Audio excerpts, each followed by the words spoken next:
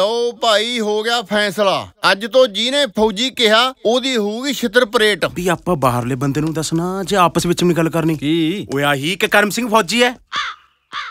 ਕੀ?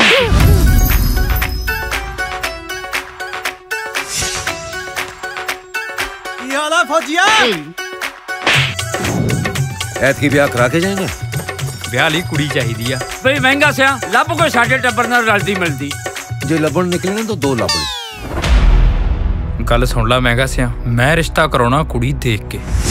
ਐ ਨਹੀਂ ਹੋ ਸਕਦਾ। ਇਹੋ ਜਿਹਾ ਤਾਂ ਰਿਵਾਜ ਹੀ ਨਹੀਂ। ਬੋਲੇ ਹੁਣ ਜੋ ਮਰਜ਼ੀ ਹੋ ਜੇ ਹੁਣ ਤਾਂ ਚੰਨ ਨੂੰ ਦੇਖਣਾ ਹੀ ਆ। ਸਾਨੂੰ ਆ ਕਿਵੇਂ ਪਤਾ ਲੱਗੂ ਕਿ ਚੰਨ ਕੌਰ ਕਿਹੜੀ ਆ? ਚੰਨ ਕੌਰ 25 ਪਿੰਡਾਂ 'ਚ ਸਭ ਤੋਂ ਸੋਹਣੀ ਆ।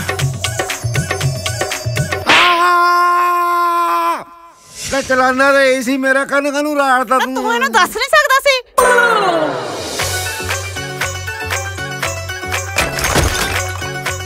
ਮੈਂ ਫੌਜੀ ਕਰਮ ਸਿੰਘ ਆਪ ਜੀ ਨੂੰ ਬਹੁਤ ਪਸੰਦ ਕਰਦਾ ਹਾਂ। ਮੇਰੀ ਬੇਬੇ ਬਹੁਤ ਸੌਗਾ ਤੇ ਤੁਹਾਡੀ ਪੂਰੀ ਚੜਾਈ ਆ ਜੀ।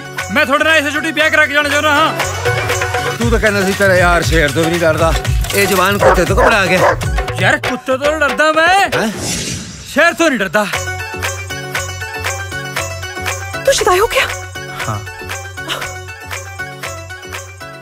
ਤੂੰ ਮੇਰੇ ਘਰੇ ਕੀ ਕਰਨ ਆਇਆ ਸੀ? ਤੇਰੀ ਇੰਨੀ ਹਿੰਮਤ।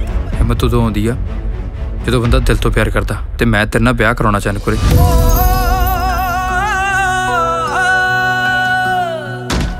ਵਿਚਾਲੇ ਵਿਚਾਲੇ। ਰਹਿਣੇ ਦੋਵੇਂ ਨੈਣ ਗਵਾਚੇ।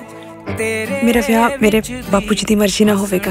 ਤੁਸੀਂ ਸਾਡੇ ਘਰ ਸਾਖ ਭੇਜੋ। ਉਹ ਬਲਕਾਰ ਸਿੰਘ ਨਹੀਂ ਜੀ ਉਹਦੇ ਮੁੰਡੇ ਨੂੰ ਰਿਸ਼ਤਾ ਮੈਂ ਕਰਵਾਇਆ ਸੀਗਾ। ਉਹ ਸੁਰਜੀਤ ਸਿੰਘ ਜਿਹੜਾ ਡਾਕਖਾਨੇ ਚ ਲੱਗਿਆ ਹੋਇਆ ਜੀ ਉਹਨੂੰ ਵੀ ਰਿਸ਼ਤਾ ਮੈਂ ਹੀ ਕਰਵਾਇਆ ਸੀਗਾ। ਮੱਗਰ ਸਿੰਘ ਦਾ ਜਿਹੜੇ ਉਹਦੇ ਉਹ ਪੋਤੇ ਬਸ ਬਸ ਬਸ ਬਸ। ਆਪਣੀ ਇੱਕੋ ਇੱਕ ਧੀ ਆ। ਅਸੀਂ ਚਾਹੁੰਦੇ ਹਾਂ ਕਿ ਉਹਦਾ ਰਿਸ਼ਤਾ ਕਿਸੇ ਚੰਗੇ ਜਿਹੇ ਪਰਿਵਾਰ 'ਚ ਹੋ ਜਾਏ।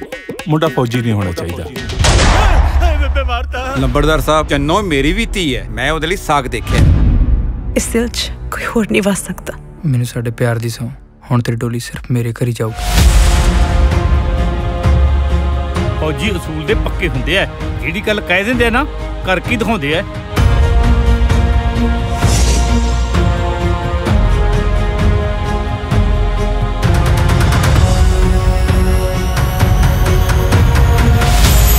ਮੈਂ ਕਿਹਾ ਤੂੰ ਫਿਰ ਜਾਣਾ ਮੇਰਾ ਸਾਕ ਲੈ ਕੇ। ਕਿੱਥੇ? ਲੰਬੜਦਾਰ ਸਾਹਿਬ ਦੇ ਘਰੇ। ਓਏ ਨਾ ਭਰਾਵਾ ਗੋਲੀ ਮਰਵਾਓਗੇ ਤੁਸੀਂ ਹੱਦ ਕਰ ਦਿਓਗੇ। ਕੁਛ ਵੀ ਹੋ ਜੇ ਫੌਜੀ ਤਾਂ ਆਪਾਂ ਕਹਿਣਾ ਹੀ ਨਹੀਂ।